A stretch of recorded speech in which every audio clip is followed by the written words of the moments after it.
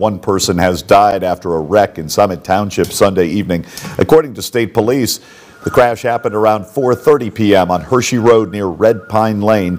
A vehicle hit a tree, killing one person. Authorities had to block off traffic while they cleared the scene.